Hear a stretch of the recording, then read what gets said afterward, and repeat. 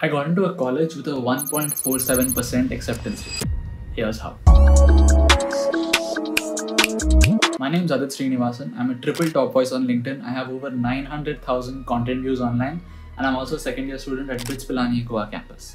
And this is the story of how I gamified my competitive exam preparation and how you can use the same framework to basically almost everything in your life. 80% of things in our life can be treated as a game. It doesn't matter if you're trying to climb the corporate ladder, trying to lose weight, or even studying for an exam. You can use this gamification framework to most goals that you have, and you can achieve them in lesser time and in a simpler and easier way. So, this is the five step method and framework that I use to gamify my preparation, and I'm currently using in my content creation journey and things like that.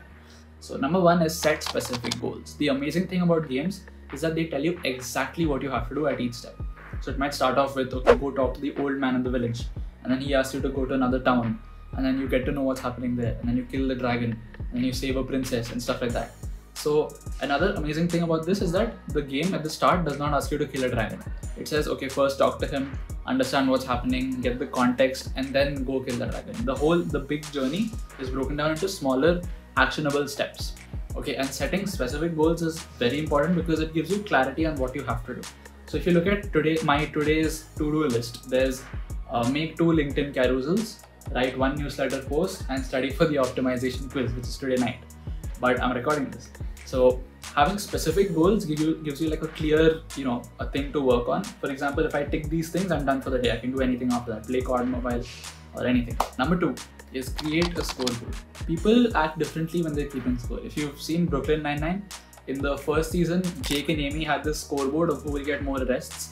So this sort of gives them like a visual way to track their progress. And you also see other people's. So for example, if you see that the other guy is one step ahead of you, he has one more than you, you will be like, okay, I have to do two today so that I'm ahead of him by one. And then this gives you like a very good, you know, uh, visual way of understanding where you stand. So when I write online or when I'm writing for my book, I have a word counter. So I'll have a, like a goal for a day saying touch 7,000 words or touch 8000 words and it tells me that I'm currently at 6.4 or 7.8 or whatever and I'm like, okay, 200 more words to go. Where can I fit these 200 words in the book and stuff like that. Number three is reward yourself. I have a box of uh, Jim Jams here, and I use it to reward myself whenever I've done even a small thing. So, for example, if I've written, if I've finished the things on my to-do list, I get a Jim Jam. If I've gone for a walk or done some sort of exercise, I get a Jim Jam. If I wake up on time uh, and I attend all classes for the day, one Jim Jam. So what this essentially does is, uh, if I'm studying for a quiz, I only get the result of the quiz after say four or five days. So the reward is like delayed, okay? And your brain loves instant rewards, which is why we have Instagram, YouTube, all of those things, instant dopamine. So I figured out a way to get the reward from the, you know, the delayed three, four days to the present one Jim Jam is sort of a reward. You get that sweet center and also the sides and everything. So every time you complete even a small thing, a small task, you get a reward. Even in games, when you finish like one level or you reach one significant milestone, you're rewarded. Maybe you get XP points or new armor or skills or whatever. But reward yourself even when you do these small things along the way. That makes you hooked onto the game. Okay. Because you think, okay, if I finish one more level, I get one more reward. If I study more, I'll get one more Jim Jam. That's my mindset throughout the day, literally. The Jim Jam packet costs like 35, but the perceived value for me because of the things that I accomplished because of that Jim Jam is like 10 or 20 times that. Number four is teamwork. Some of the most popular games in the world are played with your friends like CSGO, Fortnite, Clash of Clans or whatever else. Right. This is because when you play with your friends, you have like this sort of social competition and you also have this thing of you know i have to better him. But again we're all similar mindset. We all have this clan. We're all in it together and things like that. Especially in these uh, um, you know shooting games fps games. You have like a group of people who are against the bomb or like or are putting the bomb or whatever in csgo what happens is you sort of hold each other accountable. You say okay this guy has to protect the bomb. I have the bomb. I'll go place it there and things like that. So you hold each other accountable now, even if you're studying, I'd say study in a group. Then you can say, okay, you've studied the first chapter, I'll do the second chapter, then we'll teach each other. That way, both of you benefit. You're studying only one by yourself and then you're learning. You're also teaching what you know, so Feynman technique.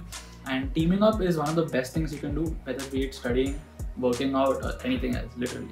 Number five is level up often.